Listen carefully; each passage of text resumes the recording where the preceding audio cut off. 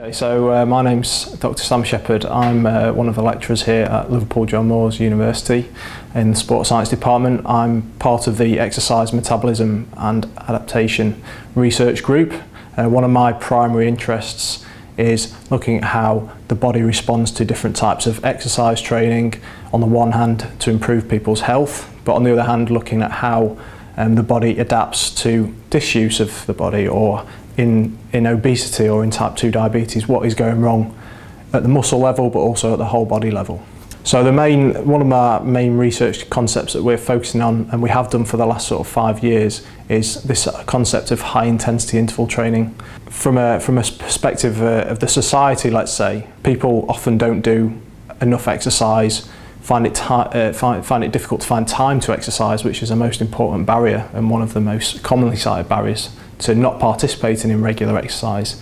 Um, and certainly when we're talking about exercise, we're talking about the government guidelines of 150 minutes of moderate intensity exercise, um, 30 minutes five times a week to get to that point.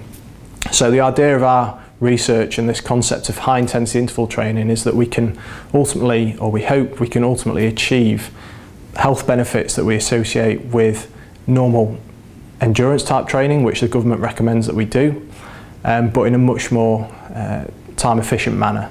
So a typical high intensity interval training session might be 30 seconds of real hard effort cycling on a bike, for example, followed by two or three minutes of rest. And we might repeat that three or four times during a single session.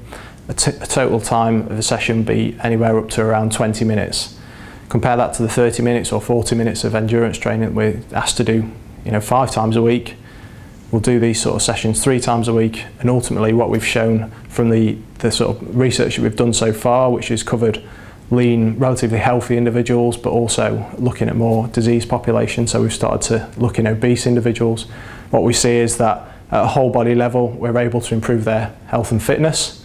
Um, but as a, as a molecular sort of interest as well as, a, as my role in terms of muscle biochemistry the increase in mitochondria is very similar and the increase in muscle oxidative capacity. We also see that on the level of the microvascular blood vessels as well, so capillary density is increased to a similar extent with both types of training.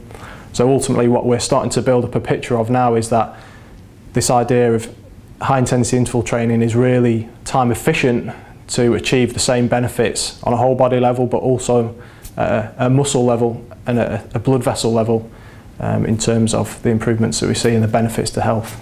We've already shown from this research that the government guidelines that are suggested, you can achieve the same benefits in a much more time efficient manner. So if people don't have the time um, or, the, or the facilities or whatever it is to be able to undertake this 30 minutes of moderate intensity exercise, say they don't have access to a gym for example, is there ways that we can adapt what we know from laboratory based studies in terms of high intensity interval training, the things that we've already done in the lab, and take those into a more real world environment. And ultimately that's what we want to try and address is can we get more people exercising? Maybe they need to use this high intensity interval training approach and ultimately if, if it achieves the same benefits in, in health um, that we see from the government guidelines, then perhaps the government guidelines need to be slightly altered to take that into account and this new type of training that people might want to achieve.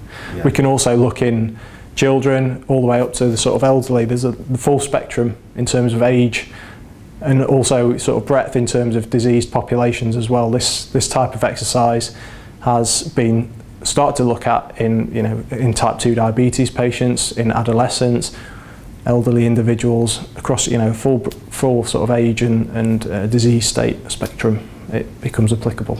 We, we conduct a lot of our high intensity interval training based research within the lab and we have done in the last five years here at LJMU. Um, but it's starting to become apparent now that what we see in the lab is the question comes, can that be adapted into someone's lifestyle? And for that to, you know, for us to answer that question, we need to take that outside of the laboratory as well. So whilst we can perform basic uh, proof of concept ideas within the laboratory, here at John Moores and using these fantastic facilities, then we also need to make links with the community. So can we um, develop high intensity interval training classes, for example, that we can take into sports centres? That's accessible for members of the general public to then become involved in at a lunchtime, for example, of a working day.